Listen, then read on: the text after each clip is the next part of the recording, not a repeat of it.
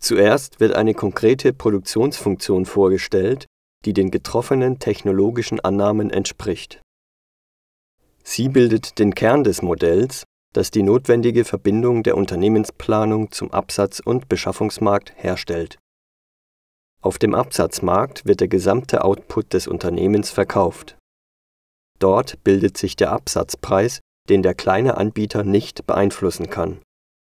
Nach der Multiplikation von Preis und Absatzmenge erhält man somit den Erlös des Anbieters. Die Inputfaktoren bezieht das Unternehmen über Beschaffungsmärkte. Die Preise der Produktionsfaktoren muss der Produzent ebenfalls als am Markt vorgegeben hinnehmen. Zusammen mit den Inputmengen bestimmen damit die Faktorpreise die Produktionskosten des Unternehmens.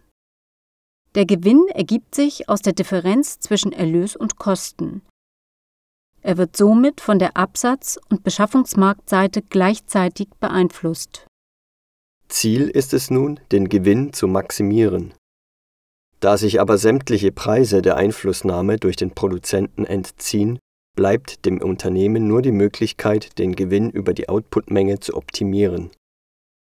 Um das Gewinnmaximum herzuleiten, wird daher ein Modell entwickelt, das alle Informationen in einer Gewinnfunktion verdichtet. Diese stellt den Gewinn des Anbieters ausschließlich in Abhängigkeit seines Outputs dar. Dann werden wir uns anschauen, welche Bedingung erfüllt sein muss, damit der Output gewinnmaximal ist. Aber wir werden noch einen Schritt weiter gehen.